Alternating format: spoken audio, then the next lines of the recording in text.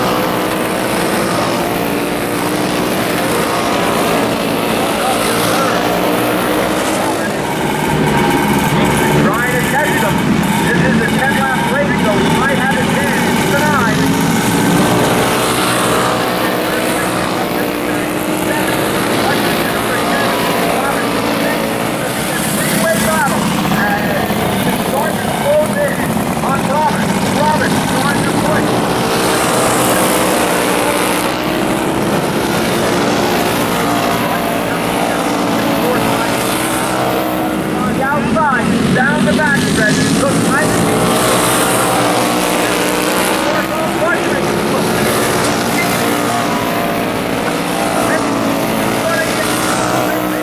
Tim and So the battle is for second now between Budrick and Roberts. What a drive by Mike Houston.